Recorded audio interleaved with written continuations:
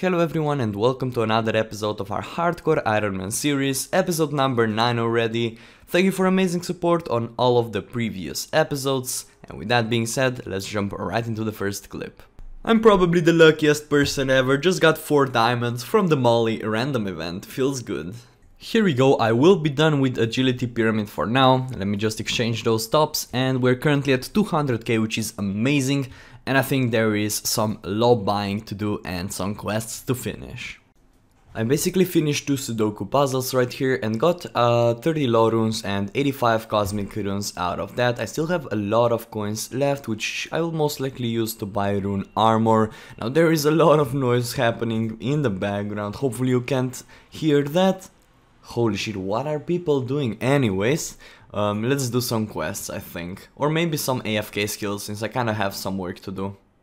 Yup, I did end up deciding the kind of AFK while I'm working on other projects, so here is 40 fletching, and I can now fletch longbows, which, you know, is just there to be there, not that I'll use them, but I guess they will sell for a little bit more profit and I'll be getting a little bit more experience out of that.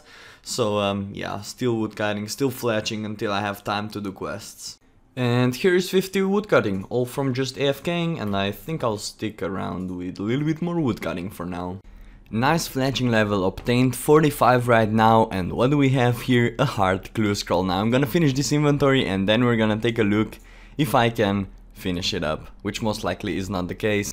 And the moment of truth. Let's see the Okay, this feels like wilderness. Hell no. Bye bye. Not going there, no way. Decided to knock out a little bit of fire making, now I did make 4 fire making levels already, I'm gonna go all the way to level 50, while obviously just woodcutting my, my willows right over here in Lumbridge. After that we'll most likely be doing quests, I'm still kinda busy, still kinda doing other stuff, so um, yeah, time to woodcut and do some fire making. Pretty cool milestone happening right over here, 850 total level. I'm basically still doing fire making, currently 39. I'm probably gonna speak to you whenever I do reach 50, because that's where I will stop. So um, yeah, just basically woodcutting and yeah, nothing too intense going on here. Just clicking the tinderbox, clicking the log. I just got a school event, now if I use this on Herblore I should be probably getting a level, there we go 20 Herblore, still woodcutting, still training fire making, but I think I'll stop before I actually reach 50, simply because I kind of wanna do some quests and this is getting repetitive and I actually have some time to do other stuff now.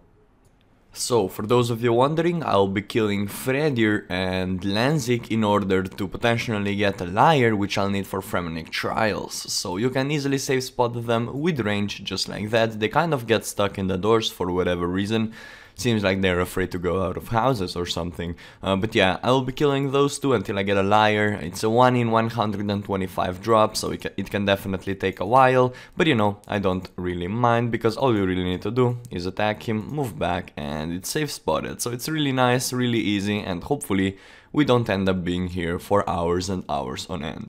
Hey, there we go, Lyre obtained, nice, nice. That took a while, but not too long, definitely better than just training crafting up. Uh, so yeah, that's awesome. Now I could do Fremennik trials whenever I feel like it, but I feel like I need to do some uh, prayer training before I do that. I will see, I will decide, and then I'll do something. Alright, I'm currently doing one small favor quest, super freaking annoying quest, uh, but since I'm already here, I'm gonna give him some swords, and let's see if I get lucky. I think that you can get lucky, like you can get up to rune, I'm not quite sure though. So far, not exactly. Alright, we got a black one and that is it. Definitely not worth to save up uh, the rusty sword, so I'll stop doing them. But yeah, you can get the general idea what you should expect.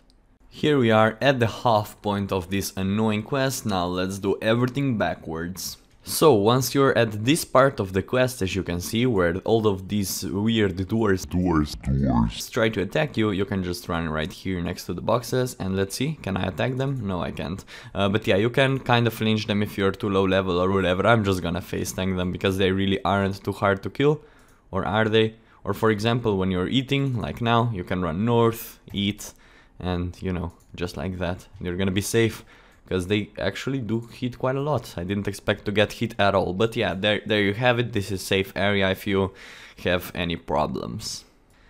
Alright, so after an hour of just running around the RuneScape and completing small favors for every single person, we're now finally at the end of the one small favor quest. Uh, we did obtain a steel keyring and we do get two lamps that each give us 10,000 experience. Now, two quest points, glider to trip to Feldip Hills, two reward lamps as said and keyring and I can also make Guthix rest, Guthix rest teas. I will not need them but here is like the idea what I have right now. Now in my first Iron Man, the original Iron Man, I obviously used it on Herblore but now I really really want to have 43 prayers so I can complete all the amazing quests and that is what I'll end up doing. In the future I'll train Herblore different ways, I will I don't even know, even kill druids if needed, but honestly, I just want to get prayer out of the way. So that's the first prayer level. Uh, there it is, 39, and now use it again on the prayer. And here it is, let's see, boom, 42. Now, we're currently 3000 experience away from 43, the level that we desire to complete all the quests. Now I think I will just probably do some one trip of blue dragons or something like that just to get that final level out of the way and then we have so many more possibilities of the quest that we want to complete so that quest is absolutely awesome to get out of the way and let's see what we end up doing next. Alright, so thanks to my amazing math calculations, I will be needing 14 Dragon Bones, uh, doing them at Ectofuntus to get 43 prayer. If my calculations are off, then I'm sorry, but hopefully we get that 43 prayer out of the way, and then we can focus on just finishing quest after quest after quest. I don't know if I'll go straight for Monkey Madness, because I don't feel like doing another long quest after I just completing uh, after I just completed a super long quest, but I'm kinda leaning towards doing a quest for recipe for disaster. But first on the road I do need to get 14 dragon bones. And there we go, a cool little level, 50 magic coming in. Now I did not want to miss this level because it looks so nice. Halfway to 99, just kidding, but yeah, definitely a nice level to get and we just need 14 dragon bones again. Uh, let's go. Alright, so after quite a bit of grind, here is the final bone that will get us to 43 prayer. And there we go, 43 prayer accomplished. Now we can protect from basically everything in this game, so that is absolutely awesome. Now, I will take some time off working for university again, and then we'll see what quests I still want to finish. I decided to kind of knock out the prerequisites for the recipe for disaster and one of the quests which I still didn't do is fishing contest, so here it is. Completion of the quest gives me 2.5k fishing experience and this little shortcut as well as one quest point. Now let's see if that gives us a fishing level. Uh, nope, but we can now go down to these stairs, so that is awesome, you know. And um, uh, we will be able to get a dwarven rock cake thanks to that. Now, um, for Recipe for Disaster, I kind of want to get done with all the prerequisites as well as just complete the, the ones that I can, so that's what I'll be working on uh, before I do Monkey Madness. Um, yeah, lesson of the day, never trust Goblin Cook, cause shit can uh, get, uh, yeah, destroyed kind of. Poor goblins. Um, yeah, nice kitchen you have there, Mad Knuckles. Look at this guy. it worked. Yay. First out of many subquests of Recipe for Disaster is completed.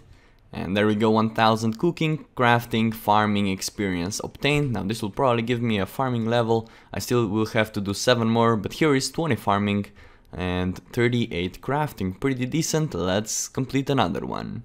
Here we are about to finish another part of prerequisites. Using this cake on the dwarf gives us 1k cooking experience, 1k slayer experience and 1 quest points.